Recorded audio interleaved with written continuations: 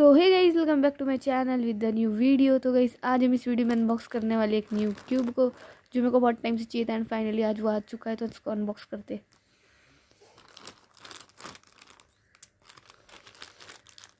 Cut ही नहीं रहा।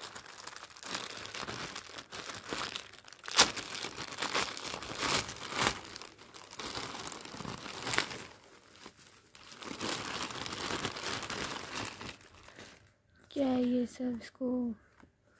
Thank you इस बाद में सबको देखते हैं, अभी हम इसको अनबॉक्स करते हैं इस क्यूब को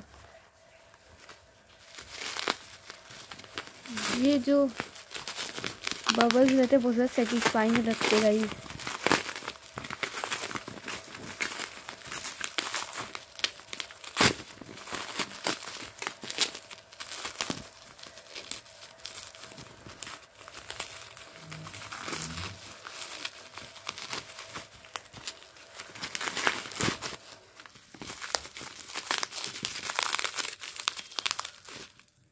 सो so गाइज़ ये फाइनली अनबॉक्स हो चुका है। अभी हम इसको ओपन करके देखते हैं बॉक्स को। और हमने जो कंपनी से मंगाया था, वो कंपनी का नाम था क्यूब वाई टॉयज़ बट ये कोई और कंपनी का क्यूब आ गया है।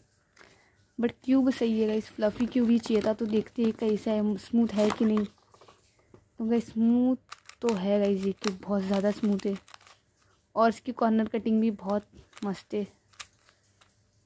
हाँ गाइस कॉर्नर कटिंग भी अच्छी और ये कंपनी का नाम है एकार्जो फ्लफ़ी क्यूब और इसमें भी चेकर बोर्ड पैटर्न बना के देखते।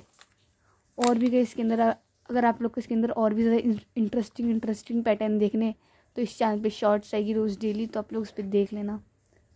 अभी मेरे पास ये दो three by three Rubik's cube भी है तो इसमें भी हमने चेकर बोर्ड पैटर्न बना लिया है।